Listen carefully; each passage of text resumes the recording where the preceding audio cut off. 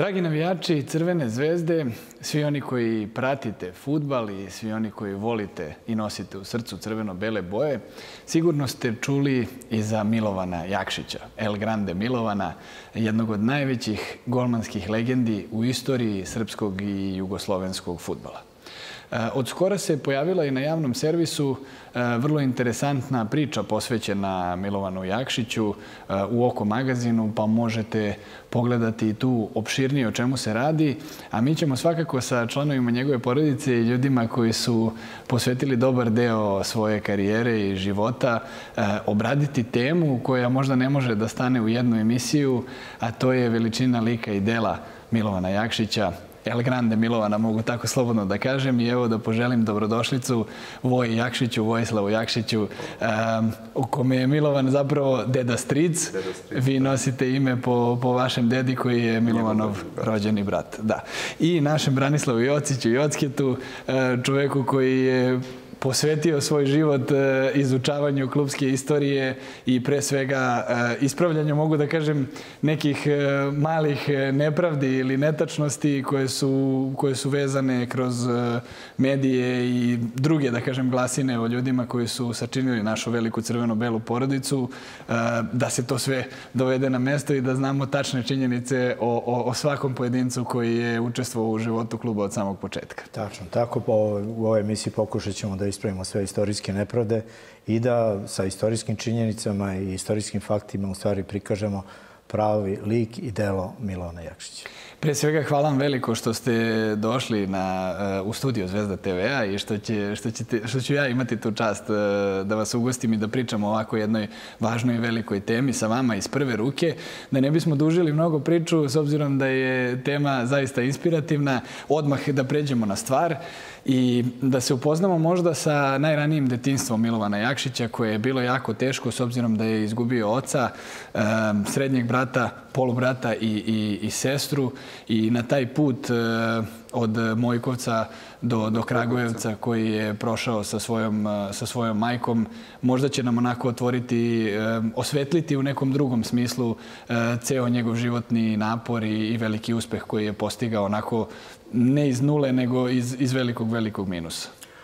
Pa eto, Milovan je rođen 909. kao što i znate, 14. godine kada je Austro-Ugarska napala Srbiju u Crnogoru. E, Milovanog, Milovanovog oca su ubili Austro-Ugari, jer je bio e, hajduk, to jest radio za srpsku vojsku.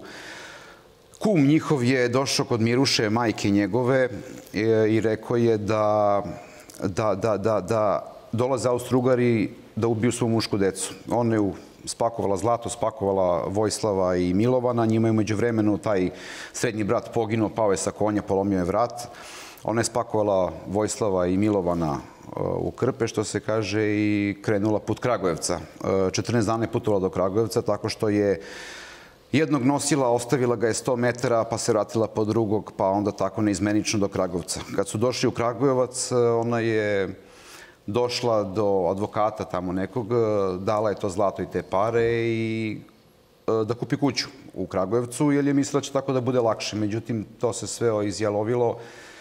Nije moglo da bude onako kako ona htela. Umeđu vremenu se ona bila preudala, taj njen novi muž nije nešto volao Milovana i Vojslava, Ona ih je dala u dom, krenula da pere žandarski veš, umeđu vremenu je dobila sina i čerku iz tog braka, to jest e, njihovo polusestru i polubrata, koji su opet, nažalost, e, preminuli i sestre preminula tuberkuloze u 20. godini i taj mlađi brat je poginuo, upao je u ter kad je bio ovde jednom prilikom u poseti Vojslavu, mom dedi, upao je u ter, su bili neki radovi u Beogradu preminuo je, tako da su opet na kraju ostali samo Milovan i Vojislav. E, Milovan je iz tog doma u Kragujevcu prešao u dom u Beograd, posle toga u Novi Sad, gde ga je zapazio Živko Popović, brat od strica Koče Popovića, uzeo ga kod sebe.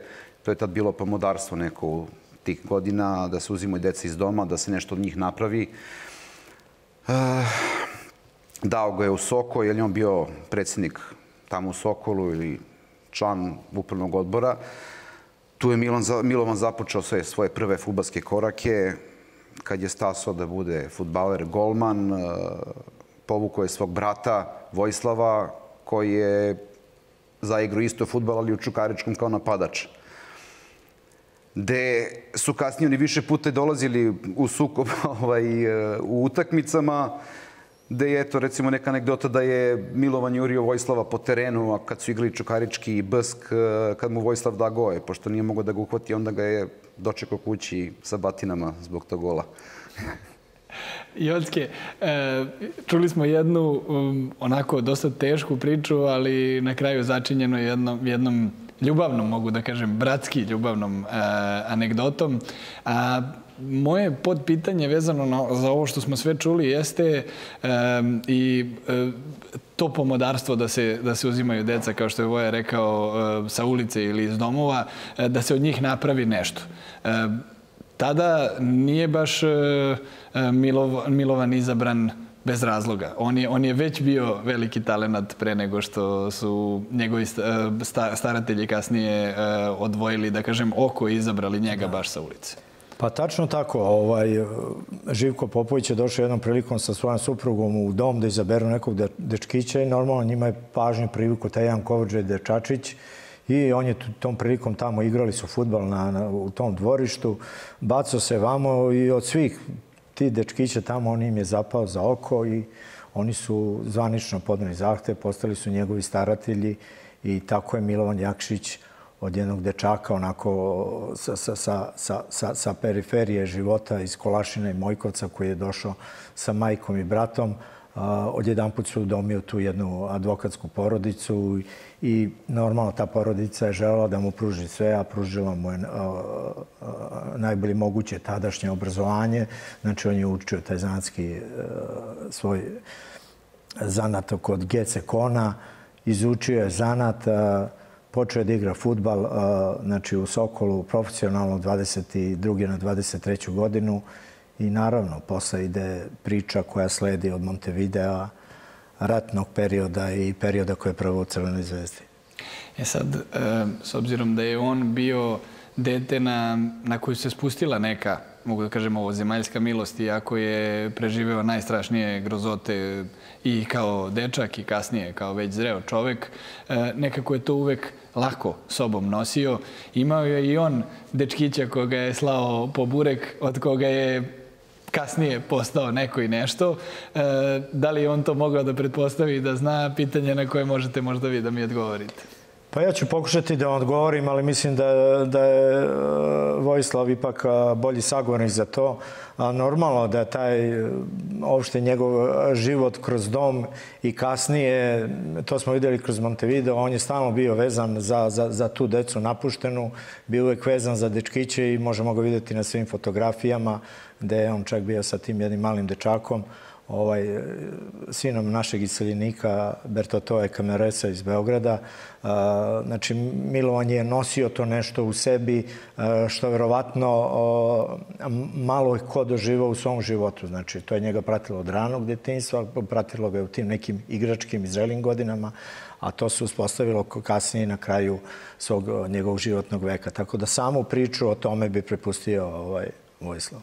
Evo da dam neki možda e, interesantan uvod. E, reći ćemo put od ajde po burek i ajde idi odnesi ovo i ono e, do prava na štamparsku ekskluzivu koja je bila par excellence u, da. u tadašnjoj državi. Pa pred rat bio je taj neki dečkić od 15-16 godina koji se tu non stop muvao ispred njegove knjižare u sadašnjoj Makedonskoj ulici preko puta politike, da ga je Milovan uvek slao da ide po burek, da mu donese koje kakve stvari. E, posle rata su došli pomilovane i rekli su ajde u vladu, da dođeš u vladu, šta je bilo. Kaže, ne, ne znamo mi ništa, dok ti ne dođeš tamo, bit će ti sve rečeno. I Milovan je ušao u kabinet kod tog nekog visokog e, funkcionera i on mu je rekao, zdravo Milovane, eme se sećaš? Kaže, Milovan kaže, ne, ne sećam se, ne znam, jer je čovek se vjerojatno promenio i za četiri godine rata i tako dalje. E, on mu je onda posle rekao, kaže, pa ja sam, kaže, ne mali što si slao po burek. Milovan se to duševio, sve to bilo kao super. I on mu kaže, Milovana, kaže, vidio, danas si ti generalni zastupnik e, za svu sportsku štampu u Beogradu koja se prodaje. Milovanu to prvo nije bilo milo, on nije teo da, ništa nije volao što se kaže preko veze da radi. Ovaj. I on mu je rekao, a kaže između ostalog ćeš uh, imati sva prava na svetske bestsellere da štampaš kao jedini u Beogradu. A Milovan mu rekao, pa dobro, kao nemoj, nisam ja to tebi radio da bi ti meni nešto učinio, na što mu on rekao, da, ali ja sam sad vlast i radiš na kako ti ja kažem. Da li je to bila neka njegova zahvalnost Milovanu što ga je izvukao, što ga je nahranio i tako dalje. Ovaj, nikad nismo saznali ko je taj dečkić bio, ko je taj funkcioner bilo. Milovan nikad nije pričao o tome e, nikome ko je, šta je. To je uvek ostala neka tajna, tabu tema za njega.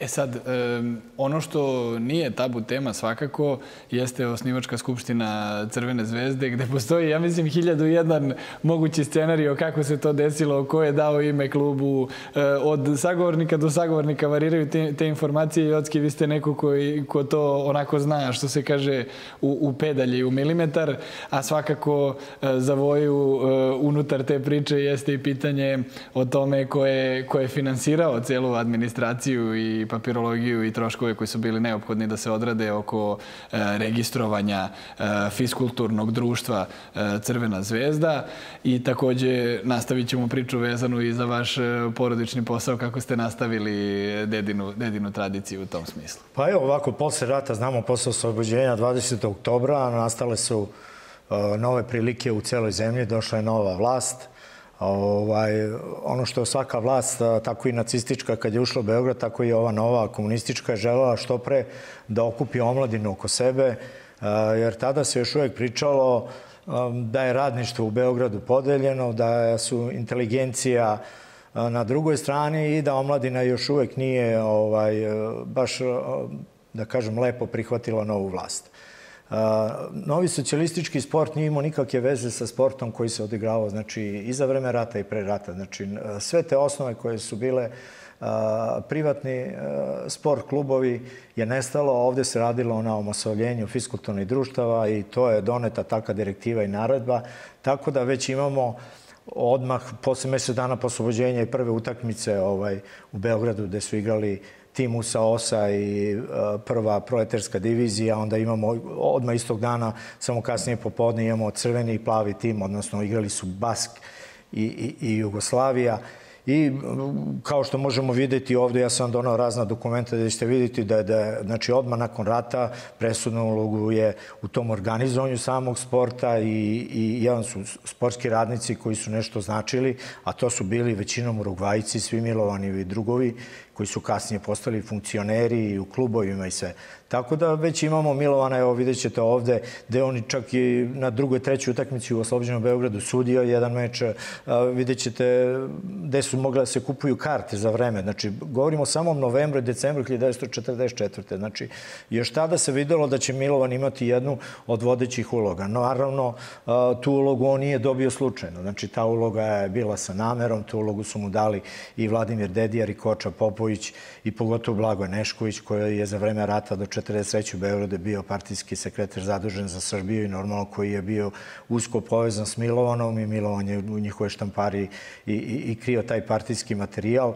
Tako da ta sama skupština koja se odigrala normalno, nije se on, on odigrala preko noći. Znači, to je trajalo 3-4 meseca, odigrano neki 12 utakmica USA osa i onda je sazrelo vreme. Ja sam donao jedan originalni plakat da se odigrana poslednja utakmica, gde su od dve reprezentativne selekcije, crveno-prave i žute, ovaj, su reprezentativni futbaleri koji su kasnije zaigrali i tu prvu utakmicu 4. marta. Inicijativni odbor koji se bavio samim osnivanjem tog prvog omladinskog fiskulturnog društva, naravno, nije on nije bio slučajno izabran. Znači, e, prednjačili su ovaj, omladinci iz Ujedinjenog savjeza antifašističke omladine Srbije, prednjačili su znači, od e, Radovana Pantovića, od Dragija Stamenkovića, ali ipak je prednjačio gradski odbor, odnosno mesni odbor grada Beograda, u kome je Zoran Žujević bio predsednik. Taj inicijativni odbor se sastajao nekoliko puta i znači pred samu skupštinu u koju mi znamo i kada je doneto ovaj, rezolucija i kad je osnovana Omladinsko fiskulturno društvo Crvena zvezda, znači bio je petak, 3. mart, u zgradi Ujedinjenog savjeza antifašističke omladine Beograda, odnosno u tu jednoj malom, malom subičku na, na Ćošku. Ovaj, skupilo se negde 14, 15, 16 ljudi, koliko je tu moglo da stane.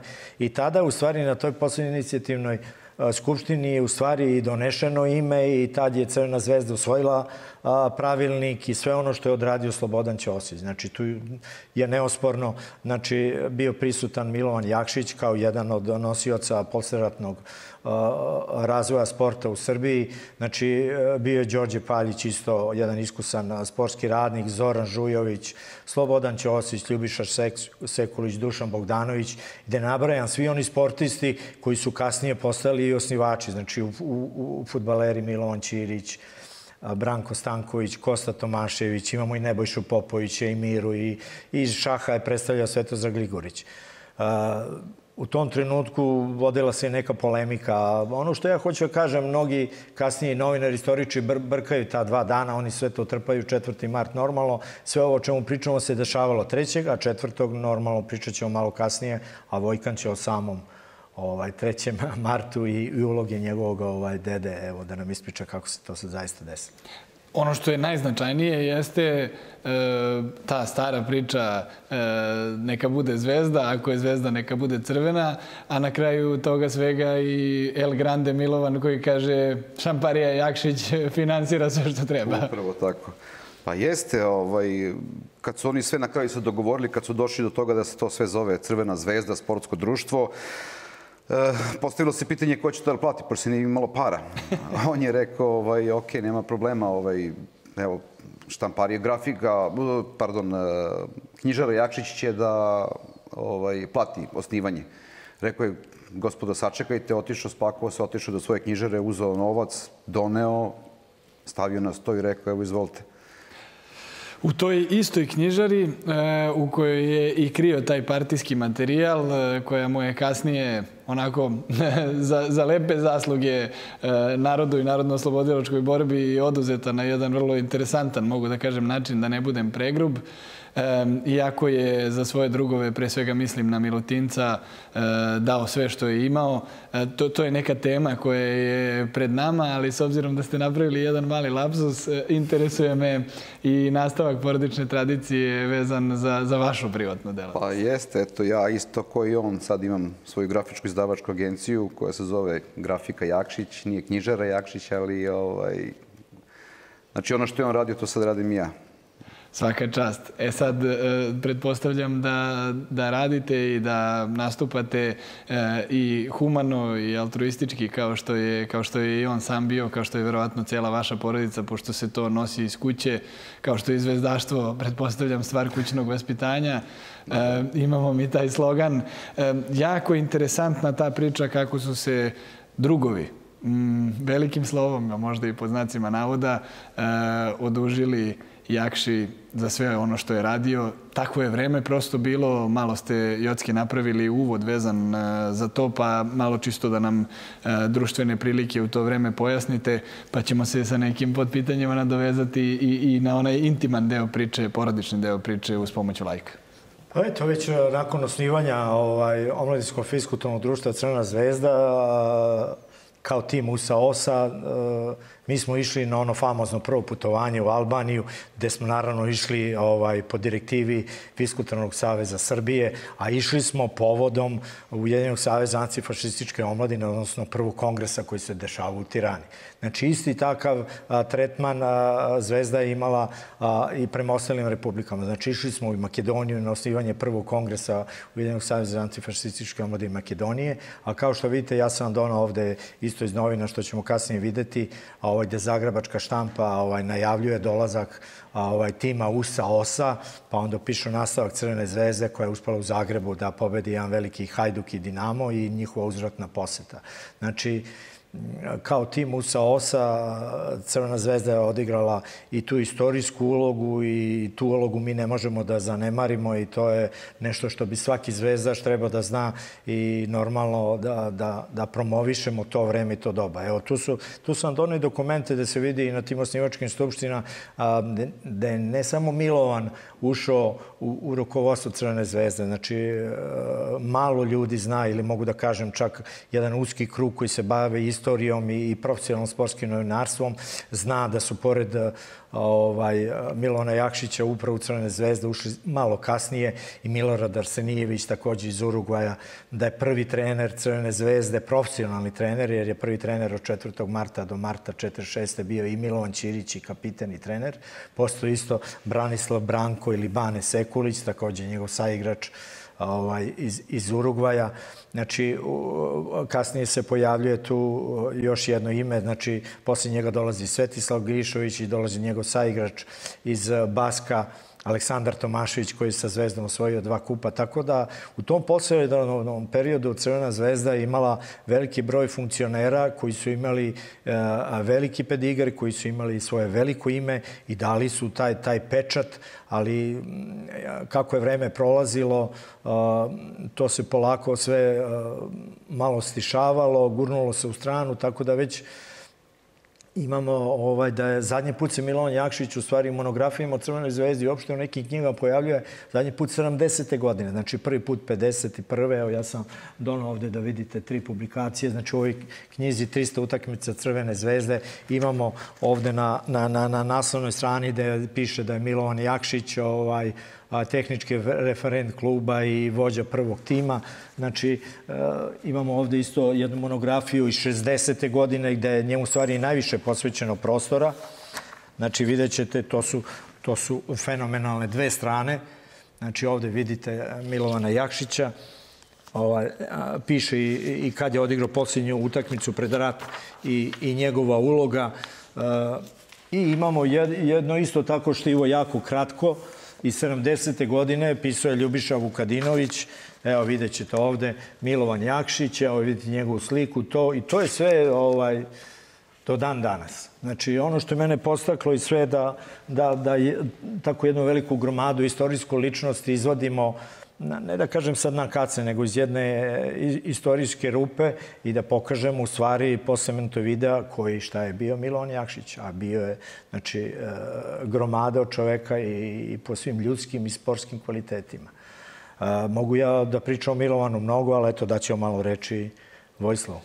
Veliki humanitarac, veliki čovek, veliki domaćin, roditelj, brat, filantrop, ne znam kako bi sve nazvao, e, čovek sa mnoštvom interesovanja, intelektualac u pravom smislu te reči, iako možda nije imao diplome i škole, ali neko ko ima želju za znanjem i učenjem, dobar čovek, dobar prijatelj, neko ko bi dao sve za prijatelja, ali svi znamo da e, ta neograničena ljubav koja nema cenu i nema interes se ne vraća uvek na, na onaj način e, kako vi postupate prema drugome. Pa jeste. Milovan je jednom prilikom kada su Milutinca uhapsili i odveli na banjički logor, došli su do Milovana kući i rekli su mu da je Milutinac uhapšen, da je u logoru u banjici i da će najvatnije biti streljan. On je svoj supruzi rekao da skupi sav novac, svo zlato koje ima, otišao je u logor na banjicu, pokušao da ga izvuče, nudio zlato, nudio novac,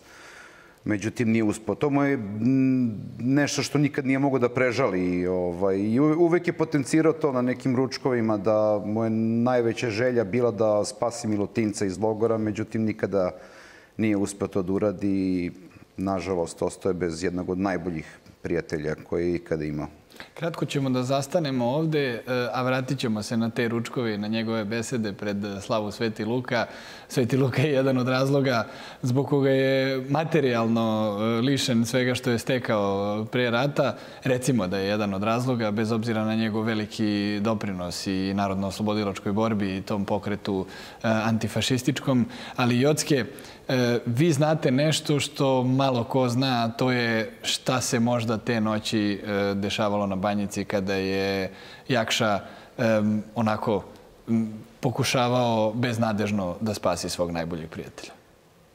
Pa to hapšenje se desilo u noći između 23. i 24. maja. Ovaj, on je odvežen prvo u specijalnu policiju, ovaj, Majovinu ulicu. I posle Pričamo o Milutincu. A, da, o Milutincu i posle njegovog ispitivanja oni su ga prebacili na banjicu.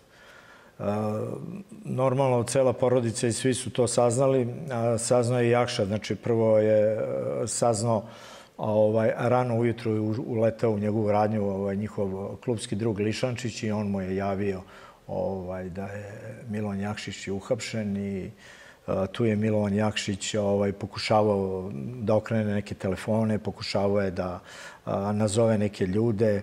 A, tresao se, bio je sav uznemiran i posle u svedočenju Lišančića, čak u knjizi koju je ovaj, napisano Milutincu, imamo svedočenje njegovo da, da, da, da je prvi put video ovaj, a, ovoga Jakšića u takvom stanju i da je shvatio koliko ga je to teško pogodilo i, i koliko je on u stvari volao Milutinca.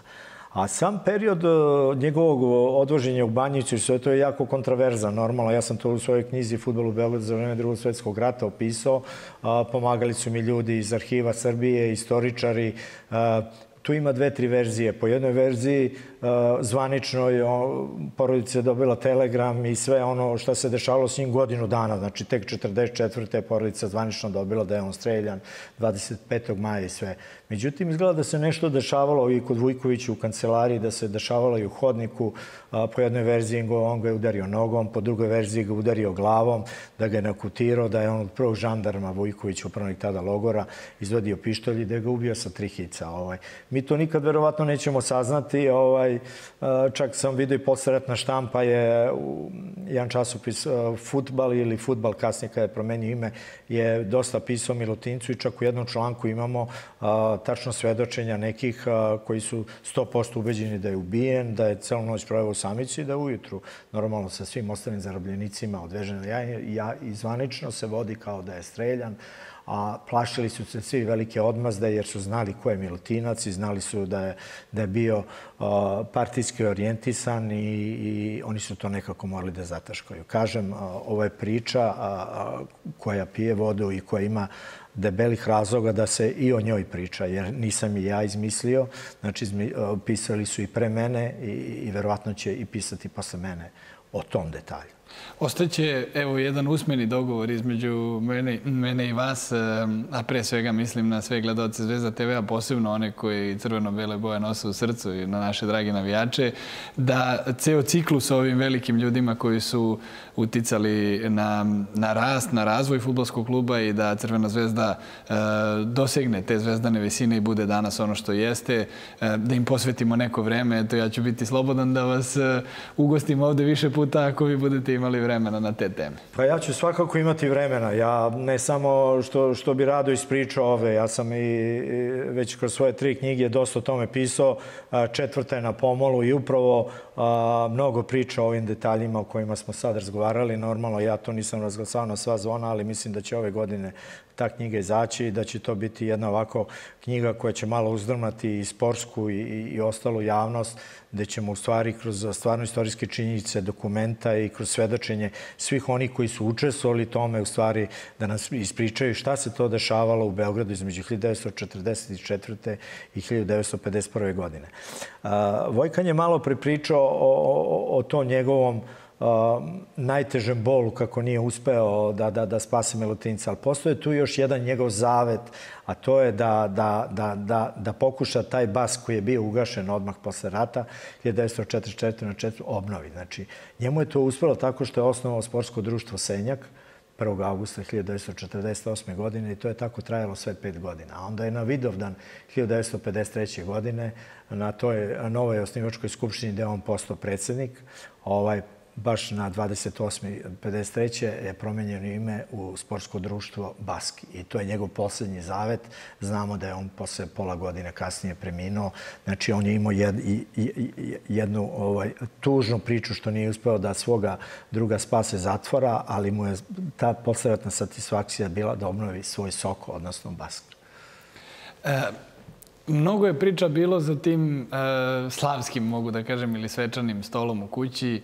E, one su, naravno, tu je Jakša imao glavnu reč kao domaćin i kao neko ko e, upućuje pouke e, pokolenjima koji će ostati nakon njega. E, postoje svedočenja porodična, šta je sve pričao tu. Redko je pričao o sebi, o svojim sportskim i futbolskim i ljudskim uspesima.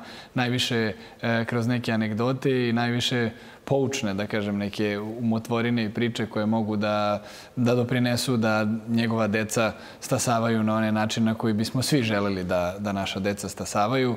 Jedna od priča između ostalih je i priča o tome kada su drugovi, opet kažem velikim slovom i po znacima navoda, došli da mu se zahvale, a u stvari i, to, i ta zahvalnost je ostala pod velikim znakom pitanja e, i znacima navoda, a možda je i taj slavski sto i ta ikona na zidu Svetog Luke bila jedna od okidača, neću biti grub ako kažem tako, e, da se ta situacija među drugovima razdesi kako se i zadesila. Pa jeste, eto, on je ovaj, e, tokom rata sačuvao tu dokumentaciju Komunističke partije Jugoslavije koje je imao. E, posle rata, kad je to predao nazad, e, oni su ga, pitali su ga da li hoće da bude član Komunističke partije. On nije hteo, pitao je li može da ide Luka sa mnom, oni su pitali koji Luka, on je rekao Sveti Luka. E, oni su mu rekli da ne može, on je rekao, ok, ne, ne idem ja, ne ide Luka, ne idem ni ja ali kao rekao im je samo gospodo, znate, ovaj, 31. oktobra je moja slava. Ovaj, I svi ti koji mu nisu dali da uđe u partiju sa Svetim Lukom su dolazili na tu istu slavu posle ponoći, naravno, u crnim limuzinama, da ih niko ne vidi. A što se tiče tih porodičnih ručkova, on je uvek zavetovo decu da čine dobro. Da ne budu loši ljudi, jer on je prošao sve i svašta i trudio se da i njegova deca i potomci, mi kasnije imamo, da znamo jednostavno ko je bio Milovan i ko je bio njegov brat. Nisu oni poveli Luku u društvo, ali su došli kod Luke u društvo. Došli su, da, 49. godine uzeli su mu tu ovaj, knjižaru, on je izvadio ličnu kartu iz uh, svoje kase, ostavio novac, ostavio sve. U toj knjižari imao kabinet kneza Pavla sa hiljadu i po knjiga, koji je opet e, ostao u knjižari, nikada nije uzeo to, nikada mu to nisu dali. Po nekim pričama to je navodno prešlo posle preko puta u politiku u kabinet e, Ribnikarov. Da li jeste tako ili nije tako, nećemo nikad saznati, mada ljudi kažu da jeste tako. E sada, on je posle toga dobio neku malu e, radnicu u Siminoj ulici, za popravku naliv pera. Obzirom da nije teo više se bavi, da se bavi knjižarstvom, dao je to svoje supruzi koja je otvorila tu malu prodavnicu naliv pera, popravku naliv pera, on je umeđu vremenu osnovo e, savez trenera Jugoslavije tadašnje i posvetio se futbolu. Kada smo kod saveza trenera, E, eto kakav, kakav čudan most između e, punionice ili prodavnice za, za popravku naliv, naliv pera. E, to je negde oko 50-ih, 50, 60 godina se... Ne, 50, 50. 50. E, to je nešto poslednje što znamo o njemu da se time bavio. Nemamo pojma, nemamo predstavu o tome da je bio ekskluzivni štampar i izdavač e, svega što smo spomenuli danas. Jednostavno kako istorija napravi da se čovek spusti, e, e, da, da mu se uzme na značaju kroz, kroz neke istorijske činjenice koje se prećute, ali evo vi ste zato danas tu da pričamo zbiljnije o tome. Kada smo kod Saveza trenera, tu su uh, njegovi Urugvajci, njegovi ratni drugovi, mogu tako slobodno da kažem. E, tu je idealni tim gde je Jakšić na golu, a Milutinac e, e, odmah ispred njega kao, kao bedem u odbrani. Idealni tim 30. šampionata sveta 30. godine u Montevideu. Pa eto malo i o tom savezu trenera i o toj prijateljskoj vezi i pravom drugarstvu, ne onom drugarstvu drugova sa velikim slovom i poznacima navoda. Da, pa taj savez trenera se nametnuo sam po sebi, jer Milovan Jakšić je odmah 45. na 46. ušao u sve forume FISAS-a, kasnije i FISA-ja, kad je Vladimir Dedijer postao i, i prvi čovjek Fiskulturnog saveza Jugoslavije. A Milovan je imao tu jednu veliku ulogu i on i Mikica Arsenijević su bili u futbolskom odboru.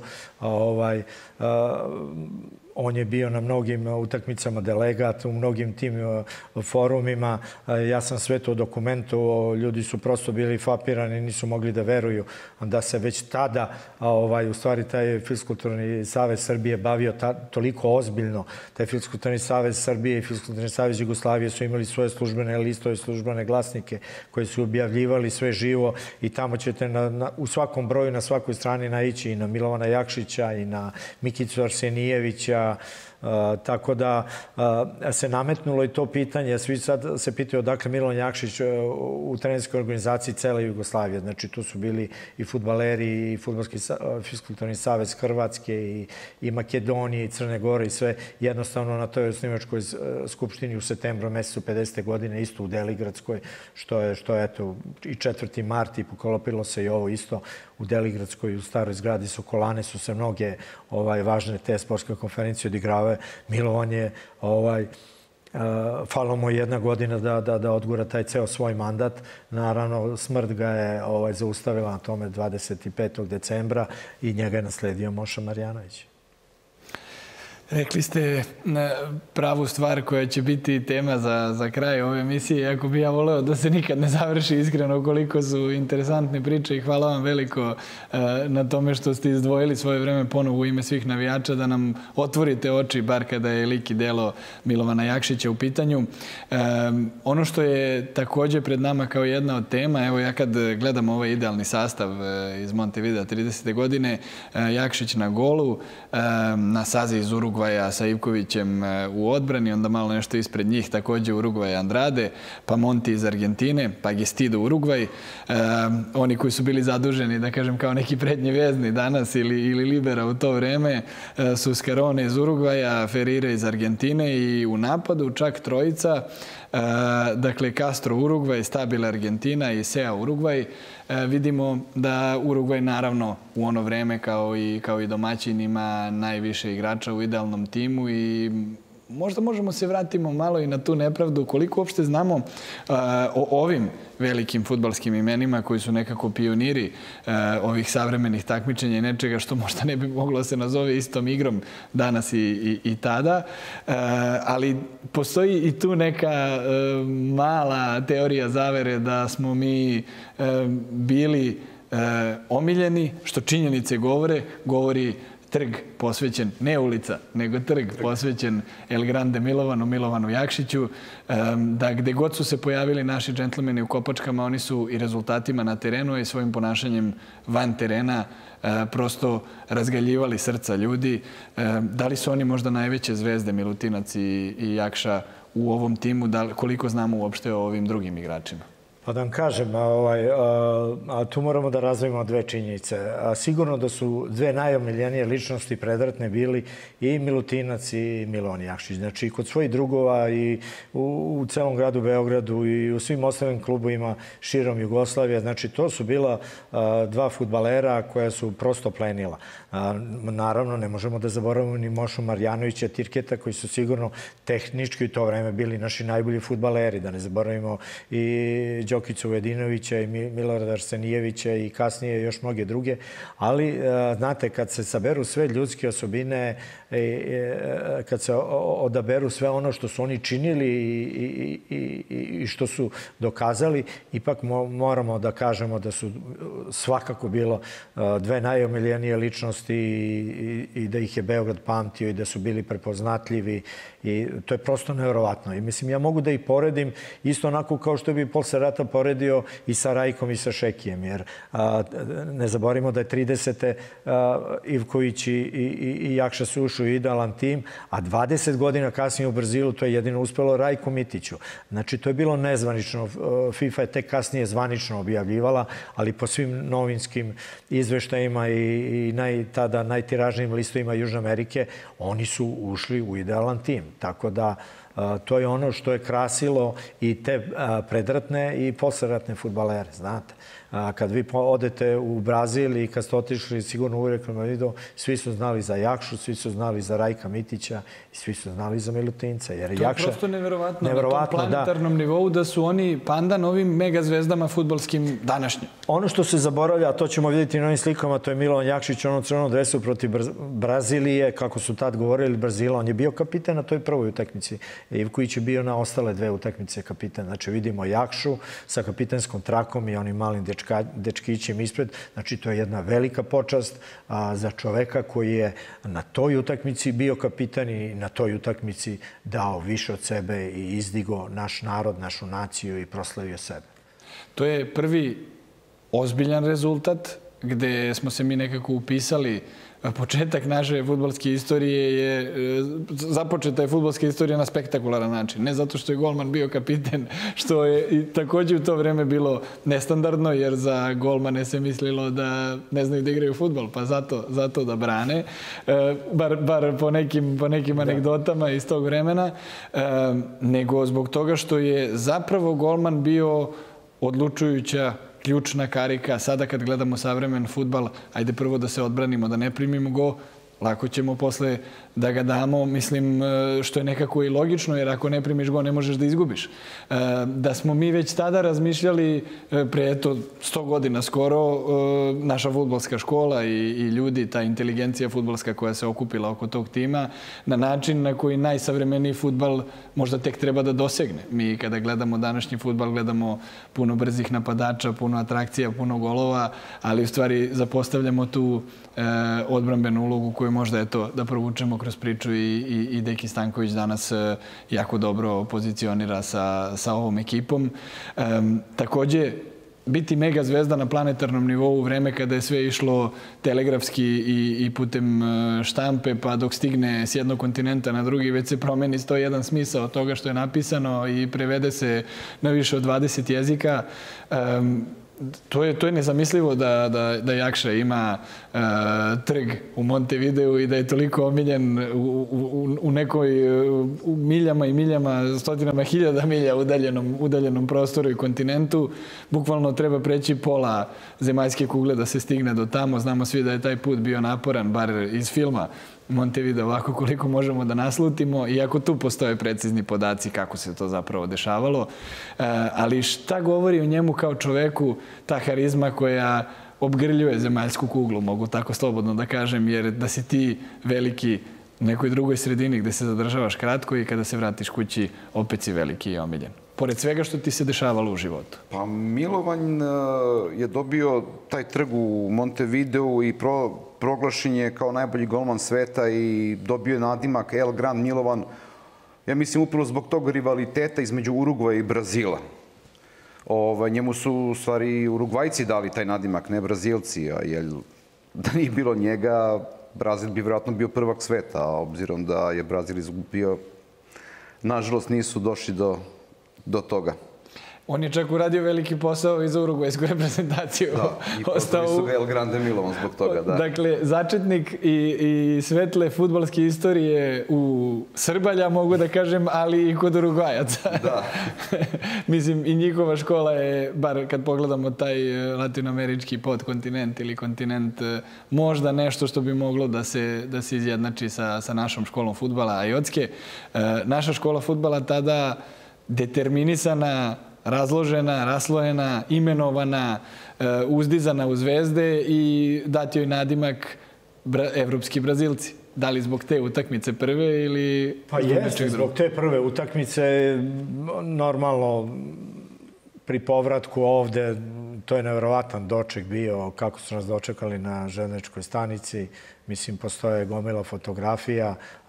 normalno, sva evropska štampa je bila oduševljena jer mi smo bili najbolje plasirani tim iz Evrope, iako nam nisu davali nikakve šanse i prozvali su nas evropskim Brazilcima.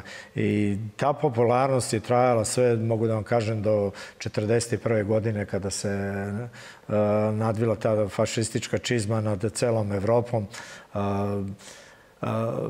Ono što je još, teo sam samo da kažem da to ne zaboravimo, a to je jako bitno za Milona Jakšića. Znači, ono vreme kada smo imali BSK kao najbolji tim Jugoslavije, Jugoslaviju kao drugi imamo građanski Hajduk u Hrvatskoj.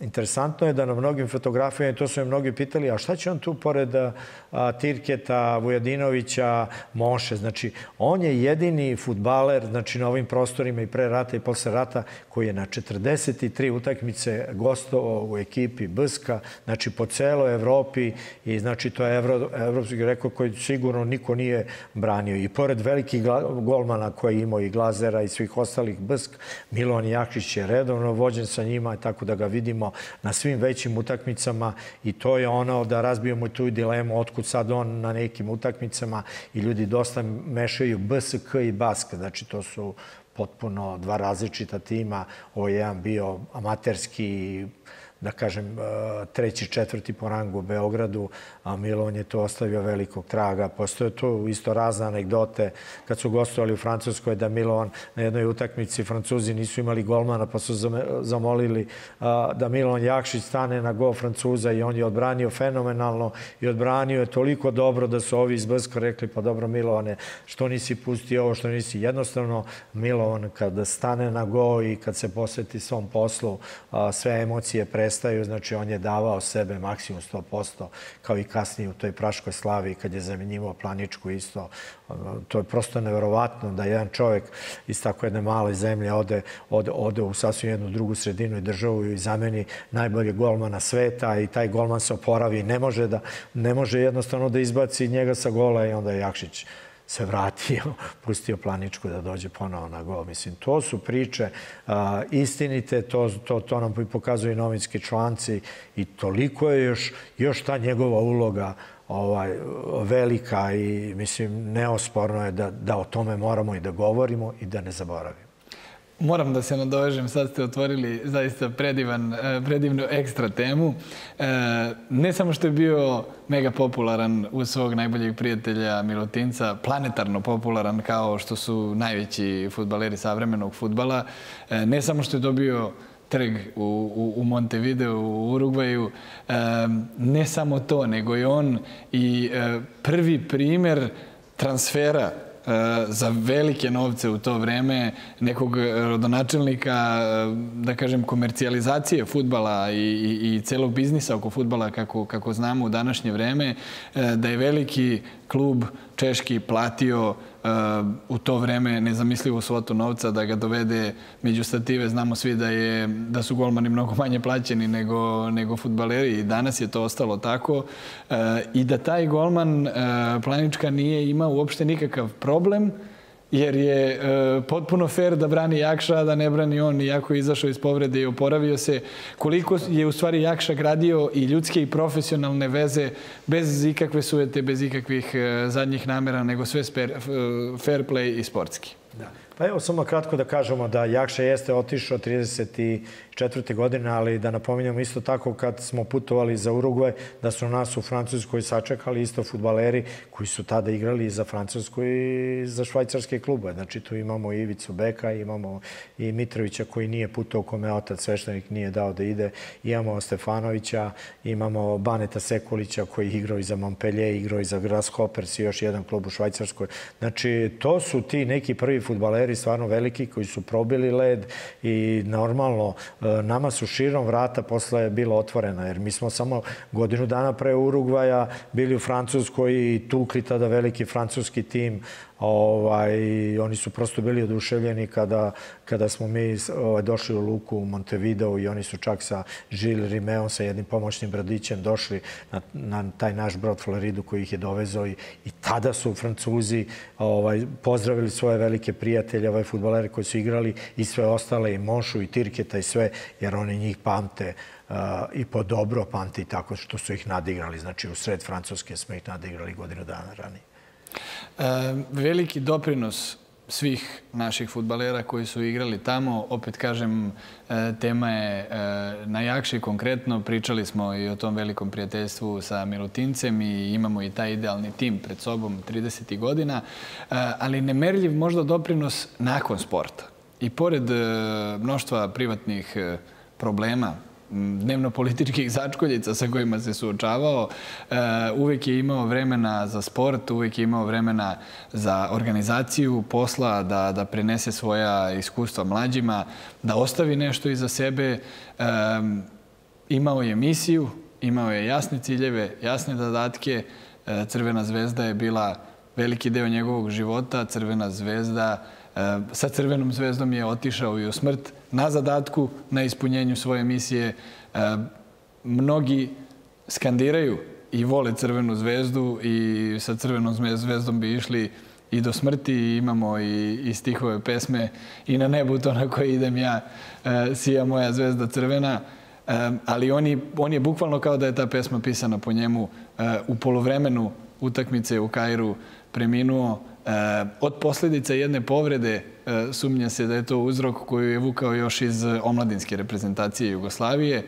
Um, ali cela ta priča oko njegove smrti i toga da nisu uopšte smeli ni da kažu igračima šta se desilo, pa tek kasnije uh, prenošenje njegovog tela u, u međunarodnim vodama uh, i predavanja u sve vojne i, i, i socijalne i političke počasti I bukvalno kao, eto, Egipat simbolično, ako bi neko mogao da se nazove faraonom futbala uh, u to vreme, to je, uh, i takav je tretman imao, to, to bi bio El Grande Milovan, Jakša ili kako god želite da ga nazovete. Neka svaki narod ima po jedan nadimak i jedno, i jedno ime posebno za njega, zaslužio je za svog života i prema onome što je, što je doprineo futbalu, ne samo u Srbiji, nego na globalnom nivou.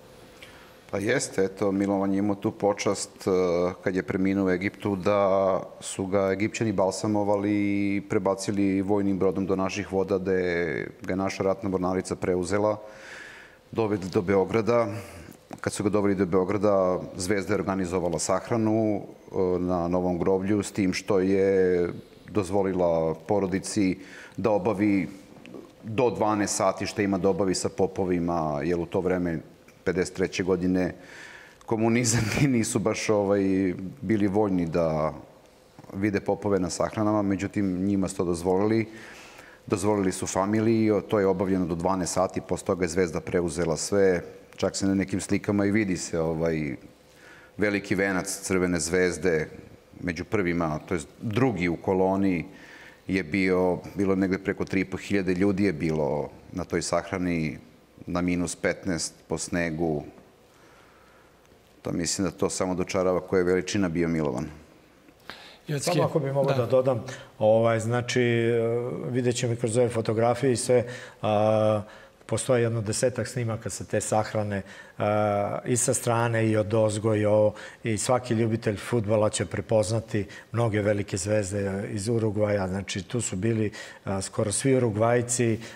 Tu je bio i e, dva zvezdina golmana koja tada nisu išli na turneju jer je branio Prevulović i Krivokuća. Znači, i Srđan Mrkošić i, i Ljubomir Lovrić i Tirke. A na oproštenom govoru vidjet ćete na slikama su tri zvezdina funkcionera govorila. Znači, prvi je govorio a, Srđan Markušić, drugi je govorio Miljan Miljanić koji je tada imao 24 godine i treći sagovornik na toj sahrani je bio potpredsjednik sportskog društva Vlastimir Purić. Molim vas da mi kažete e, nešto za kraj, s obzirom da smo e, dosta onako se približili e, odrednici ovog, ovog formata, baš što se termina tiče. Da li smo nešto propustili što moramo da kažemo ili nekako da, da možda načnemo maštu naših gledalaca, pre svega navijača Crvene zvezde, što ćemo ostaviti svakako za sledeći put, jer mislim da ni deset ovakvih formi nije dovoljno, a opet kažem, ja bih s vama razgovarao e, do, do, do sutra, 24 sata, e, svakako ćemo se sastati ponovo na ovom istom mestu da, da još malo e, razbistrimo teme vezane samo za Jakšu, a kasnije i za možda ako nam vreme dozvoli dozvoli i, i, i operativa i o svakom e, po reči iz te velike generacije Urugvajaca, kao što ih vi nazivate, a takođe i ljudima u Crvenoj zvezdi koji su doprinali tome da klub danas bude to što jeste, a možda su nekako nepravedno uh, skrajnuti u, u, u neku senku i ne znamo možda dovoljno o njima. Da li ima još nešto što biste voleli da spomenete za kraj, a da naši navijači ne znaju, pa da otvorimo vrata i, i narednim temama koje će biti posvećene Jakši i ovoj genijalnoj ekipi? Pa evo za kraj, ja mogu da kažem to što je prethodilo Milovanovoj smrti, je kada je pokazivo kako se brani mladi, mladi, mladim golmanima tadašnje reprezentacije Jugoslavije, on je slomio nogu. Ovaj, e, tada mlada reprezentacija Jugoslavije tadašnje je došla u bolnicu da ga poseti, da ga obiđu, da vide kako je, pošto je bio gipsu. On je spavao, oni su uhvatili onako usnulog, izneli ga napolje, misliće da će se probudi. Međutim, obzirom da Milan spavao kod top, nisu ga probudili, ostavili su ga napolje tako jedno pola sata kad su skontali da će on pokisnuti i da je napolju ladno, vratili su ga nazad, presvukli ga i tek se onda probudio. dakle, još jedna anegdota koliko su ga, da. koliko su ga deca volela, koliko su zapravo šalila s njim, da. jer je on to sve dozvoljavao. Upravo to i nažalost zbog tog loma noge njemu je kasnije taj trombi proradio u Egiptu zbog vrućine i od toga je u stvari i umro. Vojo, hvala veliko na izdvojenom vremenu. Možda naši gledalci sigurno ne mogu da znaju, s obzirom da je još jedan e, deo tvoje porodice, žena i naslednik, e, ovde sa nama u studiju i hvala im što su bili mirni i što ovo lepo prate i nisu nam, nisu nam remetili ovu, da kažem, zvezdašku intimu koju smo napravili za stolom. A vas, Jotki, eto, lično mogu da zamolim za obećanje da ćemo nastaviti ove divne teme, jer sigurno imamo o čemu da pričamo. Ja sam uživao. Hvala vam u ime svih navijača Crvene zvezde, hvala vam u ime svih ljubitelja futbala e, što ostavljate trag onome što se zaista desilo i svojim angažmanom i radom ispravljate nešto što svakako mora da se ispravi da bismo mi znali našoj deci da prenesemo. Pa evo za kraj ja da kažem zahvaljujem ti se ovaj, na, na, na ovim lepim rečima i na, na, na ovom našem gostovanju. Ja se s Vojkanom poznajem 10 godina i sa njegovom porodicom i sa Milovanom čerkom sam stupio u kontakt takođe pre 10 godina. Imao sam, kako da vam kažem, imao sam tu ne, neku dužnost da ovo isteramo do kraja. Bilo je jako teško.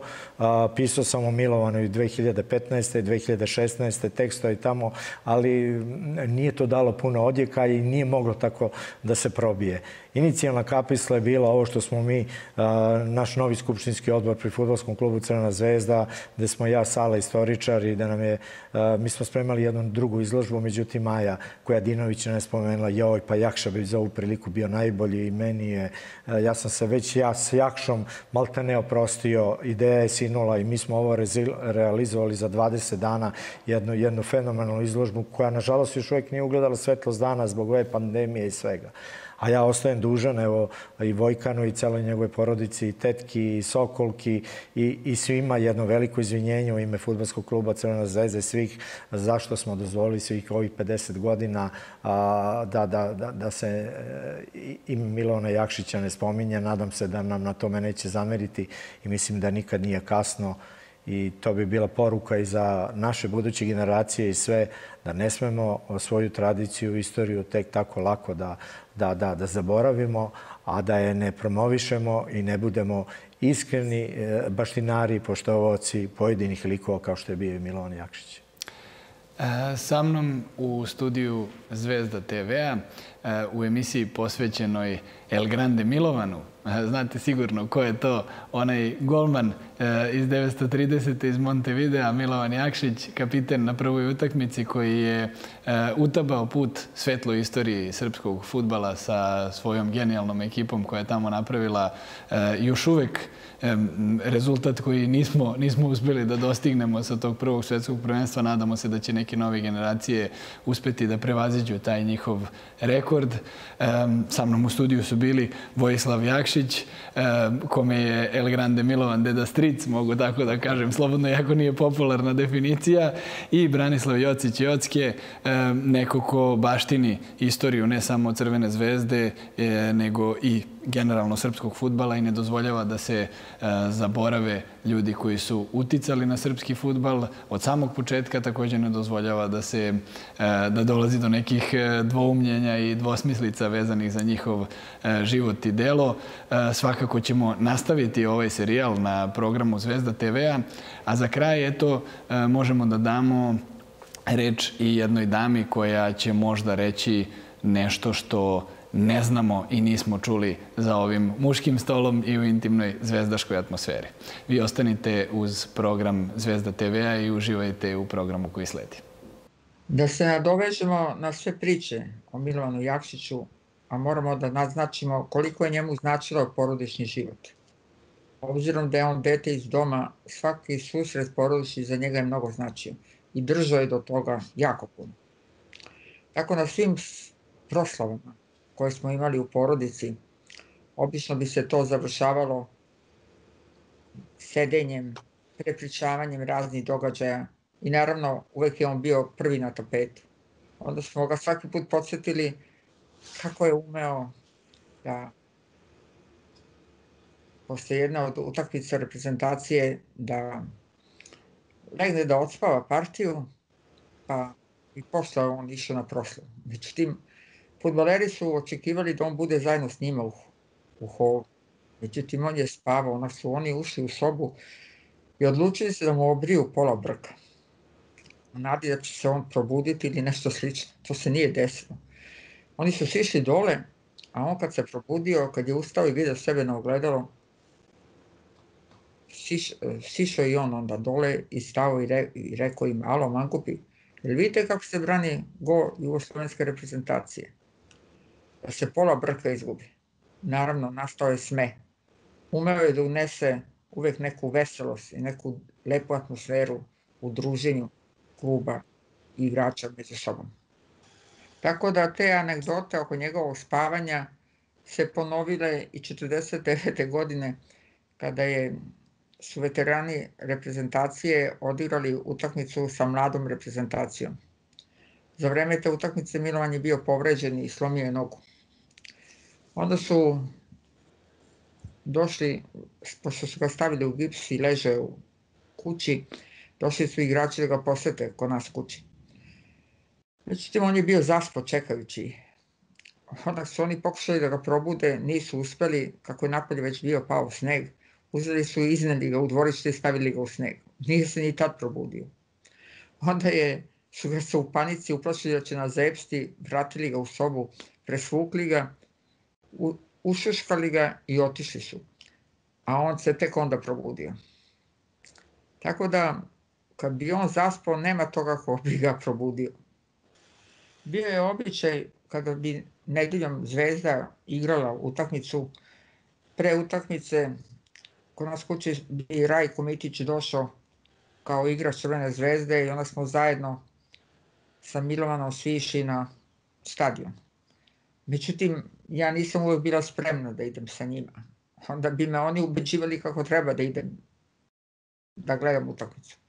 Onda sam ja obično Rajka ucenjivala i tražila da mi obeća da će da da go. On bi mi rekao, hoću, daću ti go, daću go, obećavam ti zove. A onda sam ja imala to pitanje šta se desi da ne daš go? Onda bi mi Rajko obećao da će mi dati kupiti čokolad bombone. Što bi obično i učinio ako ne bi bio dao go da bi dono sutra čokolad bombone. Obično bi mu Milovan rekao, vidi ja to ne mogu ti je vadim u ovim situacijama, vadi se kako znaš sam. Jako puno se moj stric e, trudio da meni imao bratu, to jest njegovom sini, sinu Vladeti, napravi neke doživljaje. Tako nam jednom prilikom doneo neke ukrasne piliće male da bi ih mi negovali i čuvali. Pošto su oni sedeli u bašti i pili kafu, mi smo ih tamo davili, onda nije znao kako da nas oterasi, pa nas su nas poslali da pripazimo piliće. Međutim, nas dvoje smo uzeli i podavili sve piliće. Onda nas je on pojurio kako smo mogli tako nešto da uradimo. I naravno, onak je moj brat Vladeta dobio batine, mene ne bi tuko, jer je smatrao da je Vladeta trebao da meni ne nam nauči da se to tako ne radi. tako da bi obično moj brat izvukao deblji kraj. Ali je bila pouka uvek. Vidite, moje zadnje sećanje na moga strica bilo je u novembru 53. godine na željeničkoj stanici u Beogradu mi smo, moj otac, pošto je radio u Ministarstvu inostranih poslova, bili smo premešteni za Švajcarsku. Naravno, Milovan nas je pratio na, na želeničkoj stanici. Kad smo se pozdravili, ušli u voz i seli voz je krenuo. Kako u to vreme su bile parne mašine. Voz je polako krenuo, on je išao pored voza i govorio mom ocu, molim te Vojo, čuvaj decu, vodite računa, aktivne su razne organizacije, čuvaj decu, Vojo, ja kad se budem vratio iz Kaira, doći ću da vas podsjetim. Maho nam je, u tome momentu je lokomotiva pustila paru i on je nestao u toj pari. To je toliko upečatljivo na mene ostalo da danas pa, pamtim svaku sliku zadnju moga strica. Ja bih želela da podvučem da s koliko ljubavi je Milovan Jakšić uložio od prvog dana osnivanja Crvene zvezde, da svaki njegov korak u izgradnji Crvene zvezde je ugrađeno sa puno ljubavi. Ne samo s njegove strane i svih drugih učesnika u tom vremenu. Jer Zvezda jeste danas ono što su, njih, što su oni u stvari s toliko ljubavi ugradili u Crvenu zvezdu. Zato se ja vama zahvaljujem na ovoj pažnji što ste se setili Milovana Jakšića i u ime porodice Jakšić vam se zahvaljujem na ovoj pažnji i želim puno sreće i uspeha u radu kluba Crvene zvezde.